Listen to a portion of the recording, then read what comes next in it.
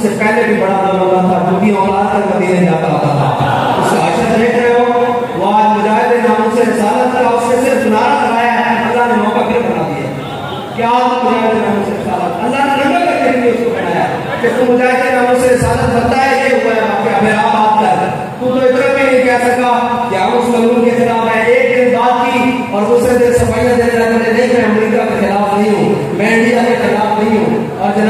मैं जनाब उसके खिलाफ नहीं हूँ। फिर तू शीरी रहमान के खिलाफ है। फिर तू किसके खिलाफ है? हमें बता तू इनके खिलाफ नहीं है। गवर्नमेंट तू कहता है, इन्होंने बनाई और तू खतों को रोता है। खतों की बात ऐसे नहीं है। हज़रत काबिल मालिक को भी खत लिखा था कैसा है रूम में। हाँ खत लिखा था तो आपको कहा था कि आजा मैंने सुना है तेरे नबी मेरे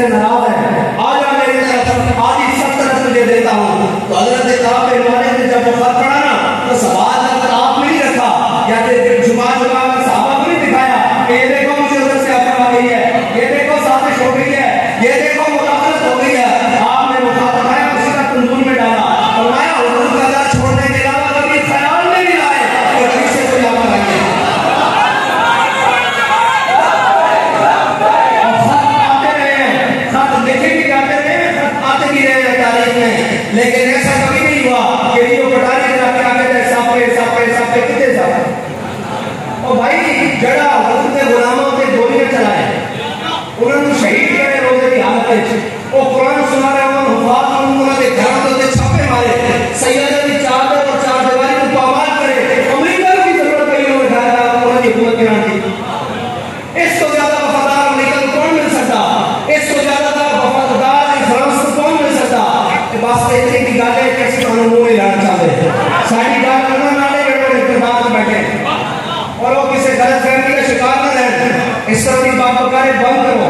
और मैं आज इस मिंबर पर खड़ा होकर कह रहा हूँ कि उस बकवास को डिलीट कर बहसीत वज़ीर आज़म तू मुसलमानों की इस्लामी रियासत, पाकिस्तान का वज़ीर आज़म है। तू किसी होर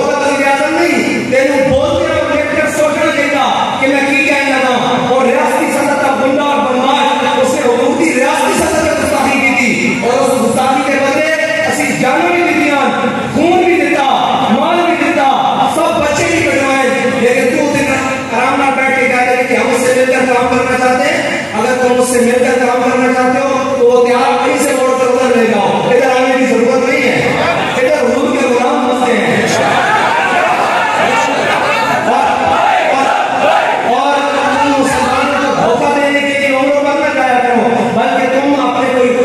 लिबास पहनकर वो शैतानी टोपियाँ पहनकर इस मौसम में जाया करो। तुम मुसलमानों को धोखा देने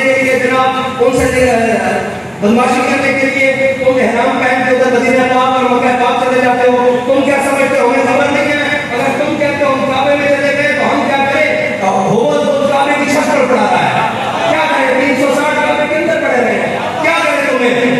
बात तो ये है कि तुम से पूछा था आपने हज़रत को सुफियान ने कहे आपने फरमाया इसके ऊपर बैठ के पेशाब करो